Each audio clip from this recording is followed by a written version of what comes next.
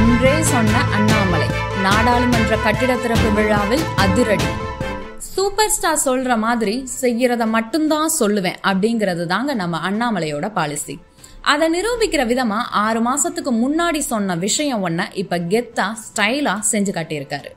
ஆயிரத்தி தொள்ளாயிரத்தி நாற்பத்தி ஏழுல இந்தியா சுதந்திரம் பெற்ற போது பிரிட்டிஷார்களிடம் இருந்து அதிகார பரிமாற்றம் நடக்கிறத பறைசாற்றும் விதமா ஒரு சிறப்பு நிகழ்வு தேவைப்பட்டது. இது பற்றி ராஜாஜியிடம் ஆலோசனை கேட்கப்பட்ட போது சோழ மன்னர்கள் செய்ததை செய்யுங்கள் என தெரிவித்துள்ளார். அதாவது நம்ம இந்தியாவை பொறுத்தவரை தர்மமே அனைத்திற்கும் அச்சாரமா விளங்குது. அதன்படி அப்போ இருந்த இந்திய மன்னர்கள் ஆட்சி பொறுப்பேற்கும் போது அவங்க கைகள்ல செங்கோலை ஒப்படைப்பாங்க.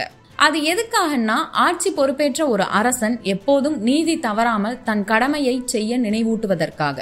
அதன் பிறகு தமிழகத்தின் தஞ்சை மாவட்டத்தில் உள்ள புகழ்பெற்ற மடமான திருவாவடுதுறை ஆதீனத்தை உதவிக்காக அணுகினார். தொடர்ந்து செங்கோல் உற்பத்தியை சென்னையைச் சேர்ந்த உம்முடி பங்காரு செட்டி நகைக்கடைகளிடம் ஒப்படைத்தார். முடிவெடுத்தபடியே அந்த செங்கோல் செய்து முடிக்கப்பட்டு தமிழகத்திலிருந்து டெல்லிக்கு விமானம் மூலம் கொண்டு செல்லப்பட்டது. அந்த செங்கோல் அப்போதைய பிரிட்டிஷ் இந்தியாவின் வைஸ்ராயாக இருந்த மவுண்ட் பேட்டனிடம் ஒப்படைக்கப்பட்டது. பின்பு ராஜாஜியின் முன்னிலையில் அந்த செங்கோலானது சுதந்திர இந்தியாவின் பிரதமராக பதவியேற்க உள்ள நேருவிடம் ஒப்படைக்கப்பட்டது. எழுபத்தி ஐந்து ஆண்டுகால சுதந்திர கொண்டாட்டத்தின் போது ஆதீனத்தைச் சேர்ந்தவங்க அண்ணாமலையை சந்திச்சிருக்காங்க. அப்போது ராஜாஜியிடம் கொடுக்கப்பட்ட செங்கோல் என்ன ஆனது என்றே தெரியவில்லை. அது இருக்கும் இடத்தை கண்டுபிடிக்க முடியுமான்னு கேட்டிருக்காங்க. அது மட்டும் இல்லாம ஆதீனத்தை சேர்ந்தவங்களும் அந்த செங்கோலை கண்டுபிடிக்கிறதுக்கான தேடல்ல இறங்கியிருக்காங்க. இதையடுத்து காசி தமிழ் சங்கத்தின் போது ஆதீனம் பிரதமர் மோடியை சந்தித்தார். அப்போதும் பிரிட்டிஷ் பிரித்தாளும் கொள்கையால் ஏற்கனவே கோவில் சம்பந்தப்பட்ட சொத்து நிலம் பொக்கிஷங்கள் எல்லாம் கொள்ளை போயிடுச்சு. நம்மளோட பாரம்பரியத்தையும் இந்துத்துவ தர்மத்தையும் கட்டி காக்கணும் அப்படின்னு சொல்லி ஒரு கோரிக்கை வச்சாங்க. அதாவது புதிய பாராளுமன்றம் திறக்கும்போது செங்கோல் ஒரு சின்னமா இருக்கணும்னோ.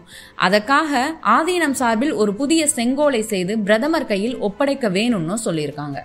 அதுக்காக ஆதீனத்திடம் மறுபடியும் ஒரு செங்கோலை உருவாக்க சொல்லி நம்மளோட பிரதமருக்கு மீண்டும் ஒரு முறை சமர்ப்பிச்சு நம்மளோட தர்மத்தை வாழ வைப்பேன்னு தமிழக பாஜக தலைவர் அண்ணாமலை ஆறு மாசத்துக்கு முன்னாடி சொல்லியிருந்தாரு.